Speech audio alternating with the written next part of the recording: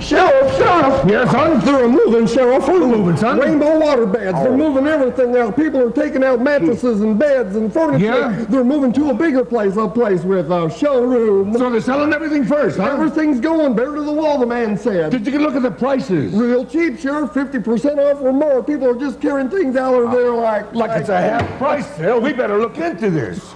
What are you crying about? I'm so happy. Go saddle the horses. Let, let me out of here.